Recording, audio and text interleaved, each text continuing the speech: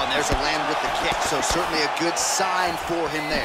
When that's working, you know he's in for a good night. Andy lands the knee to the body now.